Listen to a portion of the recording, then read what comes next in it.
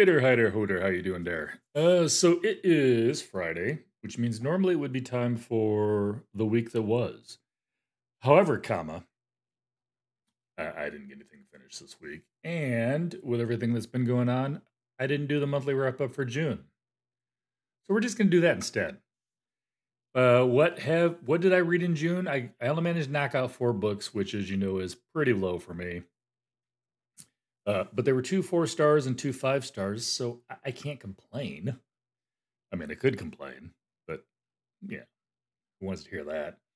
Uh, four stars. I read *The Life We Bury* by Allen Eskens and *Five Broken Blades* by Mai Corland. Those are my four stars.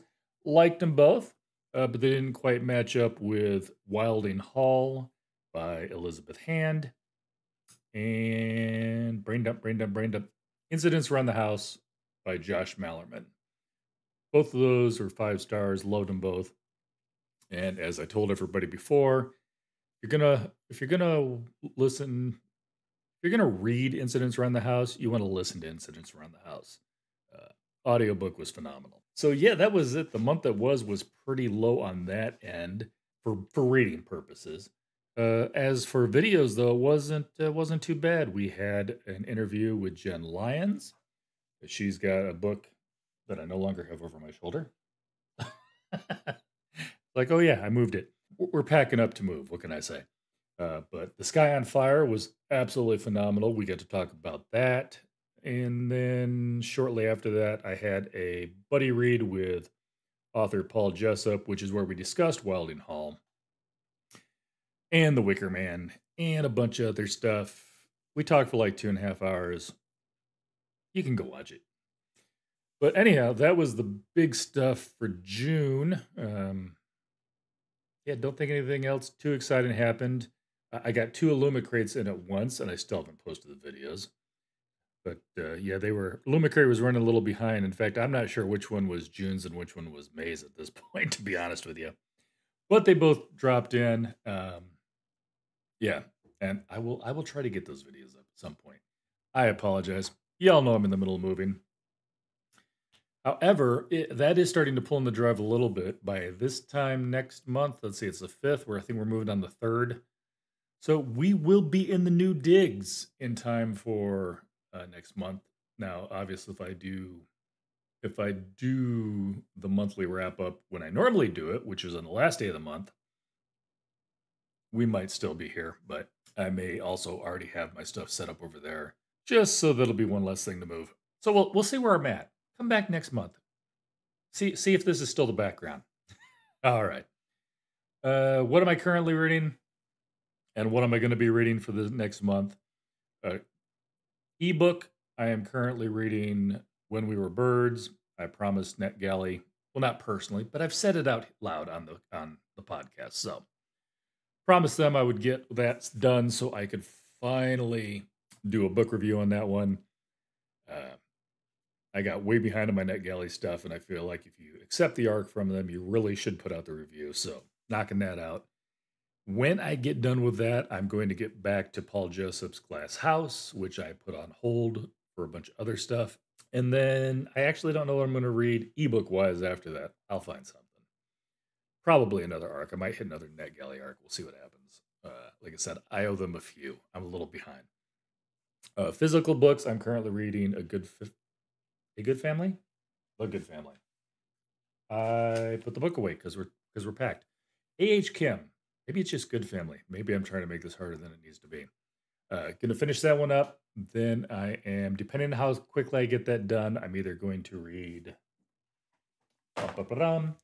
Long Live Evil by Sarah Rees Brennan.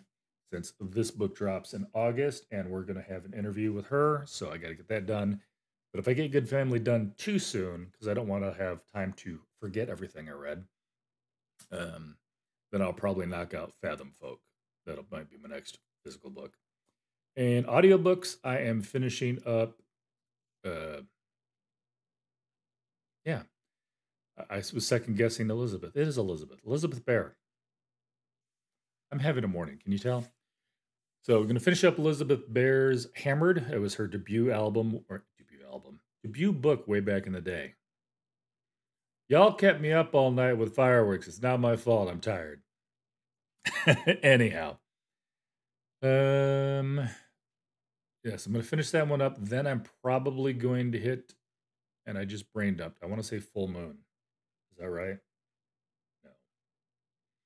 I think that's right. Book two. I think it's Fool Moon. Book two uh, and the Dresden Files.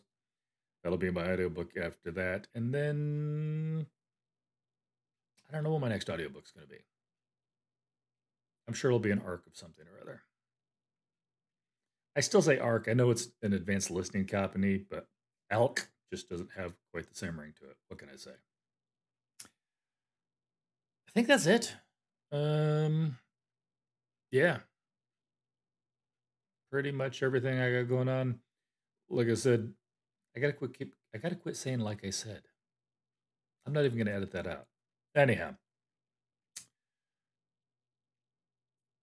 got nothing new and exciting going on. Probably we're pulling in the drive here. Gonna get a little bit more reading done. Hopefully next month, and the monthly wrap up might be a little bit longer as of right now, because originally we were doing the Sarah Rees Brennan interview for July, but her book got pushed back to August. I, did, I don't have anybody else slotted to fit in there. Maybe something will come up, but I don't have an author interview for this month at the moment. I'll get back to you if that changes.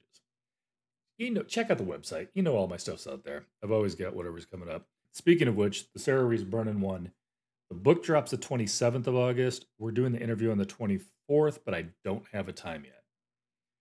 We're to have to figure that out. Uh, we're doing it on a Saturday because she is on Irish time. That was horrible. Don't let me do that again. And I am obviously on uh, middle of America time. So, little little bit of a difference in sleeping schedules there.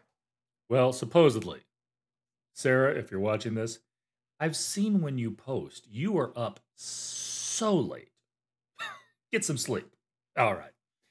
I will catch you guys later. Uh, I, I hope you guys have a bunch of four and five star reads as well. And